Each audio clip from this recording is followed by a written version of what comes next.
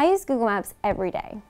When I'm navigating the subways, making dinner reservations, grabbing a taxi, I don't have to think about how it works, if it's going to work, whether or not it's accurate. Using the Google Maps APIs in a website means bringing that familiarity and trust to your users.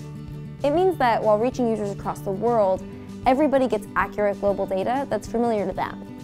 You can learn how to integrate Google's location services and maps into your websites through Udacity and Google's Maps APIs course.